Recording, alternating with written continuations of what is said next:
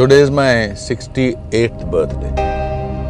Eight years back, I decided that every year I will challenge myself to do something where people will stop asking me the stupid question Oh, at this age you do this.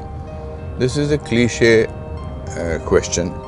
Last year I decided to sort of work and post my picture bare body, which needed guts. So I took up swimming uh, 10 days back.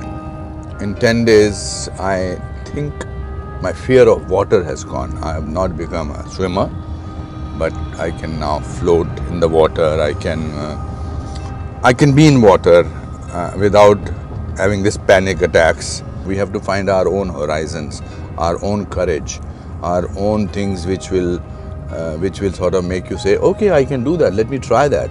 I'm going to learn swimming. I am going to do cycling. I'm going to run, and because I want to challenge myself. The idea is to encourage not only 60 plus plus people, but also younger people.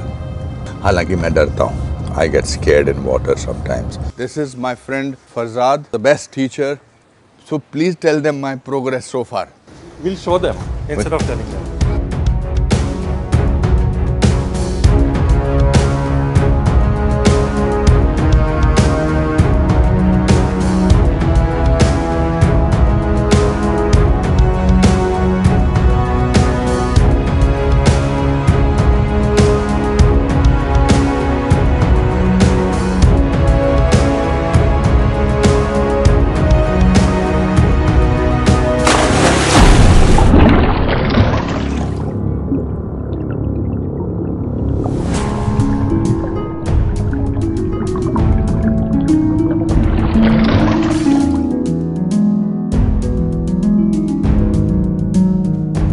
There's a beautiful line by Osho which he says, if you try, you risk failure.